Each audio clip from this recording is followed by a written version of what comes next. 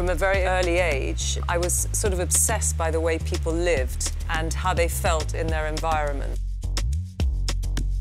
Well, I think design doesn't come from London anymore. I think we have one of the greatest cities in the world, whether it's art, fashion, music, food, whatever it is, we are an incredible hub. But today, the world gets smaller. With the internet, the access to the way you can live is accessible to anyone in the world now.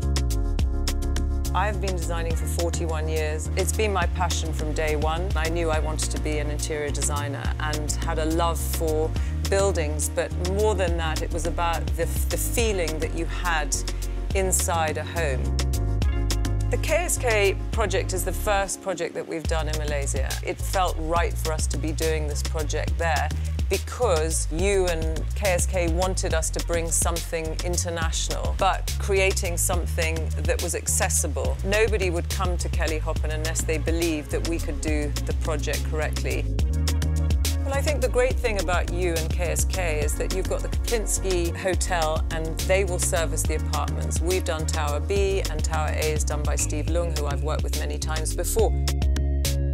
My inspiration for spring is very much earth. So we've used very warm woods and we've used metals in the sort of bronze colour. Lots of detailing with uh, slices of marble. The bath that I've used is one of my own designs that I did for Apaiser, which is called origami. The urban concept is, is very different in its colour and textures. So I wanted to create two very different looks. So urban is quite sharp. There's a lot of chrome, black lacquer. For the bathroom, it has the black marble. The doors are very different, so you've got a completely different look.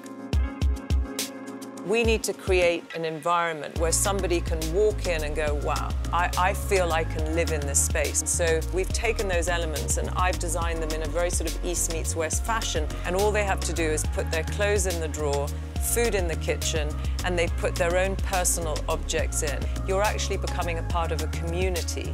And I think that is what's so brilliant about this, is a joy for me. Your place, your story.